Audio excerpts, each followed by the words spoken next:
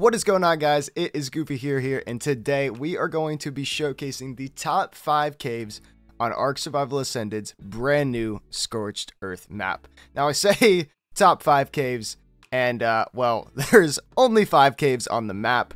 Pretty much I mean some may consider some other spots caves but realistically there's only 5 caves on the map. But I'm going to be going from number 5 to number 1 and kind of giving you guys a PvP perspective on these caves. I'm going to say these caves look beautiful because we all know they absolutely look stunning, but I am going to tell you what's good about them, what's bad about them, what the pros and the cons are, and which spot I personally would choose myself. But at number 5, we have the brand new lava cave inside of the Wyvern Trench. Honestly, an absolutely insane spot to put a cave, but it is number five for a reason. It is a cool looking cave in a cool spot, but it's just not great. So we come into the entrance here and we are led with a, or we start off with a small little room. Now this is a decent choke, but obviously it's not anything crazy. Once stegos are released and transfers open, this front room is nothing.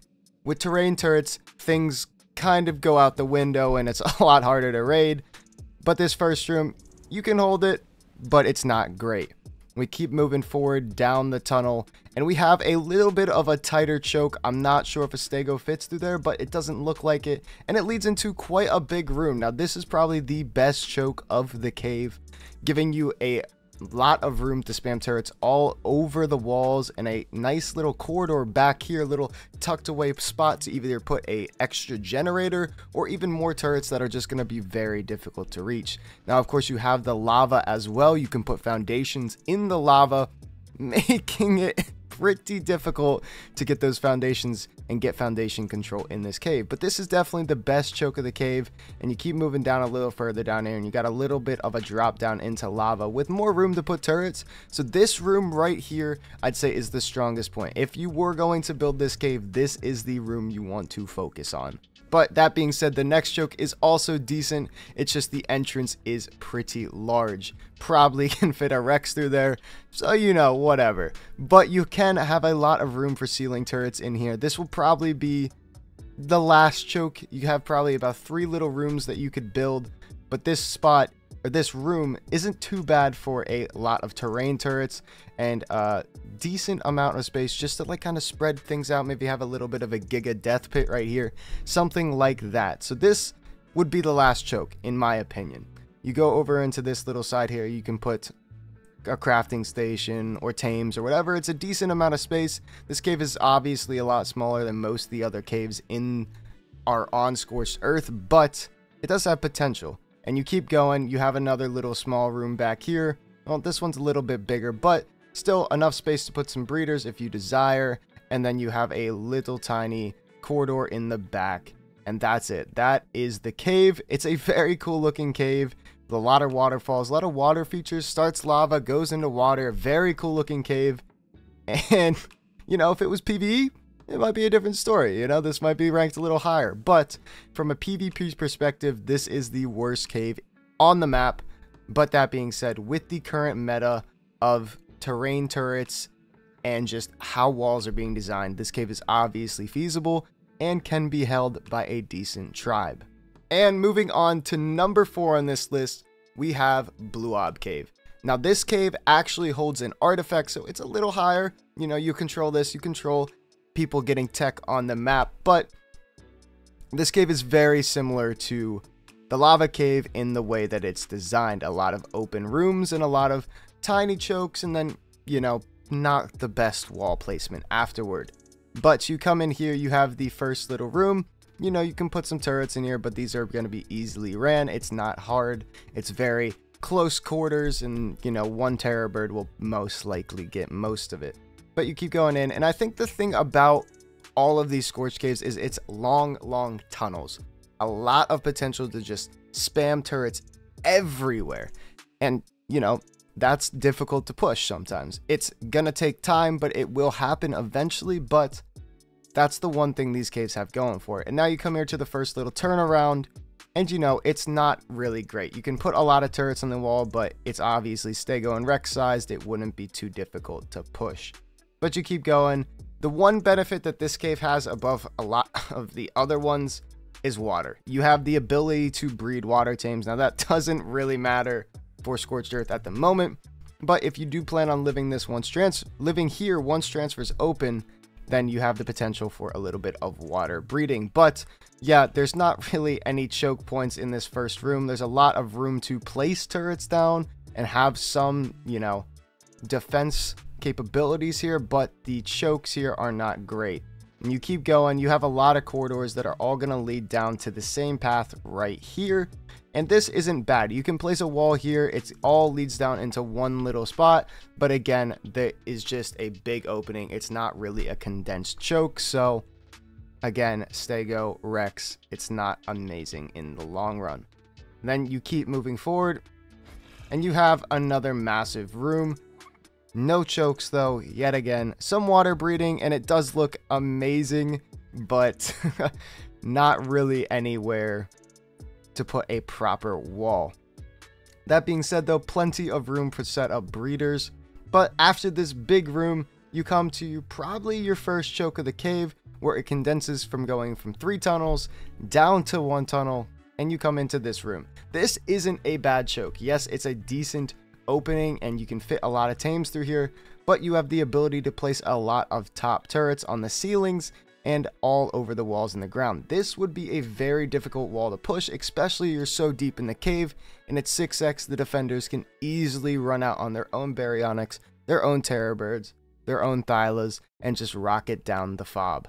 So this would be your main choke of the cave, and yes, it's in the very back of the cave, so it's not the best. And after going from the main choke of the cave, you go into the very back room of the cave, and it's of course the artifact room. Nothing really crazy here. You can put a small little crafting station, but of course, being the main choke being this far deep into the cave, it's not really anything spectacular. And that's why this cave lands at number 4. That is a strong choke, but if it was in the front of the cave, you know, maybe this would be higher on the list. But since it's so far in the back of the cave, it doesn't really perform well. But that is Blue Orb Cave. Now we are moving on to number 3 on this list, which is Church Cave. Now, a lot of you guys may see this as maybe too high in the list. Maybe it should have been one, maybe it should have been two. But in my opinion, Church Cave is is good, but it's not great. Not anymore compared to number one and number two on this list, but more on that later. But of course, nonetheless, Church Cave is very, very solid, and even more on ASA because the church at the top is crazy. The entrances to the church are much smaller, and with the way cryos work, the only way to get Theris in here for control is to drop them through the roof. That's insane to me. But the church is obviously the first line of defense, very easy to fun, like control and very fun to PvP in. Moving down into the cave, we probably have the biggest change to all the caves on this list, and that's this first choke of Church Cave. Now, we all knew that it before was super tight corridors here, but now they added the ability to have a massive, massive wall here with, I mean, an insane amount of terrain turrets to just completely fortify this first room. And honestly, I think this first room of Church Cave is the strongest choke in Church Cave at the moment. Now, Church Cave has a ton of chokes and a lot of places for walls, which makes it super strong, even though some of the chokes are stego sized. But this first choke is kind of crazy. You got pretty much a drop down with the ability to have terrain turrets on the ceilings, the walls, and even the floor and everywhere with a giga pit if you so desire. I mean, this is a very strong choke. But enough on that. Going down further into the cave, of course, we have some more chokes going into the first long corridor of the cave. Now this corridor would just be lined with turrets and it's pretty nice. It'd be easy to defend, but it's obviously nothing crazy. But then we move into the second choke of the cave and honestly this is also a phenomenal choke. The problem with all the chokes in Church Cave is they are stego sized, but of course if you're a decent defending tribe, the attackers are going to need some luck. But you come into here, you have the classic drop down portion of this cave But with the new terrain turrets, this is going to be a very difficult cave to push. And of course, you have drops in this cave too, which makes it even better. But this is a very strong choke. We all know this choke. It's nothing new. But moving down, we go into the first fork in the cave. Nothing crazy here, just the ability to have two long corridors of turrets. On the left side, you have a bit of a better choke now, but of course you're leading into a tiny, tiny corridor. Nothing crazy there. You now you move down further into the tunnel. You have just more places to put tons of turrets all over the walls. And then, of course, you lead into the biggest choke of the cave. Now, this is obviously, you can fit a Giga right here, and there is no concern there. But, with terrain turrets being the way they are, putting terrain turrets all over this ceiling, it's going to be near impossible to raid at the moment. Now, obviously, once car keys are out and carbos, you can throw carbo C4 at turrets in the ceilings, and of course, you can PT spin them. But good luck. It's going to be very difficult. This is a super strong choke, and, you know, good luck. But that's pretty much it for the chokes in Church Cave. Now, obviously, the biggest sell point for Church Cave is the size of the main room. You have so much room for breeders so much room for a crafting station, for a room, war room, for everything. And I mean, the cave just looks absolutely stunning now, doesn't it? And of course, you have the added benefit of the artifacts being in the very, very back of the cave, meaning you control the element on the server if you lock it down for good. But that's pretty much it for Church Cave. Now let's head over to number two on this list, which is Oasis Cave. Now, a lot of you guys may be a little surprised to see Oasis Cave at number two and not at number one, but I will explain my reasoning for that on why it's number two, not number one. Um, obviously, this is a bit of a crazy one. A water cave on Scorched Earth. I mean, what? but, um, yeah, the entrance is right next to Red Ob, and it is a pretty tiny choke to start at the front. You drop down into the water and you have a little bit of a small corridor that's leading into a little bit of a drop down. Now this in itself is not that great, you know, you can just put C4 on top of baryonyx and run them at the turrets, eventually you're gonna get them all and you can turret cap it. Now this is obviously very difficult to do on lock servers, but once servers are unlocked, you know, it's gonna get, this first room is gonna get pretty quickly ran through. Now, the biggest thing that a lot of people are freaking out over is this next choke. You drop down even further and you have this big salt crystal going up that's broken in two, but at the bottom of it you have the choke point. Now this choke point is decent in size, but obviously it's very tiny. I don't believe a shark will even fit through here, so you know, you're only seeing terror birds, you're only seeing baryonyx come through, you're probably carbos as well. But then you have a big open room that has a lot of capability to place terrain turrets all over the water here. Now, the reason that I have this at number two and not number one is that yes, this spot and this room in particular is very difficult and very shocking for a lot of people to see on Scorched Earth. But eventually, and I mean eventually, yes, raiding in this game takes time and way too much time to be honest. Something needs to change. But eventually this room will fall as it can be turret capped from the top above on the surface. So being able to turret cap this from the surface in 1x isn't really great. And you know, they can just send carbos after carbos after carbos. And yes, you can bleed them because you can get sharks in here. But eventually this room will fall because it can be turret capped. Any cave in this game that can be turret capped is inherently just a lot worse than anything that can't be. So eventually this room will fall. Now a lot of people might hate my opinion on that, but that is my opinion. This is obviously the strongest choke, and it will take maybe multiple days to raid through, but eventually it will fall just because it can be turret capped. Now we move into the moon pool little area, and now this moon pool, it's cool. It's a moon pool. Usually moon pools are insane, but it leads into a very tiny corridor, so honestly, not much of a defense capability in this spot. You can have turrets in here, but these turrets in this small tunnel will eventually get ran and then you move into the main choke point i'd say i mean main land choke point uh, of the cave which is this big open area from the water or coming from the water with a bunch of different waterfalls now this is going to be a very difficult choke to push as well with terrain turrets you can place them all over the walls and all over the ceilings but again it eventually will get raided. Now, this, I'm going to be honest, it doesn't look fun to raid. Now, uh, yeah, I, I don't know. I, I really think that this cave is near impossible to raid. It will get raided, that first room especially with the ability to turret cap it. But this second room, I'm not sure if you can turret cap it, and it's you know, with terrain turrets, terrain turrets all over the ceiling and the walls, it's going to be very difficult to push. Now, another thing that this cave has going for it is the absolute size of it, and of course the beauty, because this thing looks absolutely stunning. But this cave is massive. It rivals Church Cave in its size, and you have the ability to put breeders everywhere and use this as a main base location, which is amazing. And of course, there's even drops in this cave, so farming drops in here, especially on locked map, isn't a bad option. Um, there's a lot of small corridors and a lot of areas to just put personal rooms, put breeders, put, you know, crafting stations, war rooms, a, a little tiny little bedroom or something. I don't know, whatever you really want to do.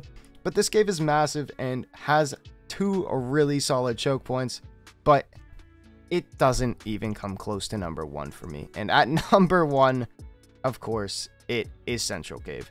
Now, a lot of you guys are probably sad that I put Central Cave over Oasis Cave, but I have my reasons for that, and I'll get into that shortly. But obviously, Central Cave is a very, very good cave. And the main thing that was bad about it before was that you could not place anything down without a cliff plat, and that obviously has changed, which makes this insane, and terrain turrets make this cave honestly impossible to raid. You come in at the entrance and right off rip, you have a choke point. Now this choke point obviously can be C-span, but with terrain turrets, you can put turrets all the way up in this top little like cranny up here. And I mean, yes, it can be C-span, but you put like 30 tech turrets in the top there, you know, spread out obviously, and that's you know, hundreds of PT spins, and you're only on the very first choke of the cave. I, I, I don't know, guys. Something needs to change with terrain turrets, but that's just the start. You keep moving. That's just the start. You keep moving down into the cave, and you have the signature of Scorched Earth Caves, which is these long tunnels. And of course, in here, you can just put turrets all over the walls. Obviously, it'll get ran through eventually. You know, just stego Rex, push them. But this is uh, this is very fun cave to PvP in. I've PvP'd in this cave so many times, and these tunnels are a lot of fun to fight in. Uh, but you have a lot of room for terrain turrets, for ceiling turrets, and everything, so it would make raiding this a lot longer. But you come into the second choke point of the cave. Now, this one is obviously a very big opening. It's right before the main choke, but you come in here and you have a big room where you can put turrets all over the ceiling, all over the walls, have gigas down here, and have the ability to just jump up, grapple people in, you know, when car keys are out, jump up, grab the stegos, bring them down here. It's a very good choke point and a lot of fun to PvP at this, but at the end of the day, it's a massive opening and will get raided eventually. But the thing that makes this cave near impossible to raid is the main choke point. Now this is pretty small. A Thyla does fit all the way up until the very end of it, but it doesn't fit through. And that is the biggest thing. With the only bleeder in the game that is this size being the Thyla, obviously Carnos can bleed, but it's not fitting.